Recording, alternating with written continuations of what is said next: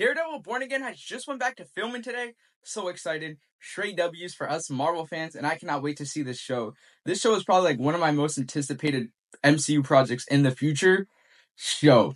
This has so much to do, honestly, and it's just crazy how we're literally getting a Daredevil MCU show. Also, apparently it's reported that it's only 13 episodes now, not going to be the 18 episode that they promised us, which I'm not, I'm not like excited or, oh, that sucks or whatever. If the 13 episode format works for this, keep it like that. If it doesn't, change it.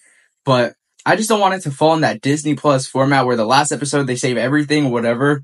But 13 episodes is still more than what we usually get on Disney Plus, so who knows?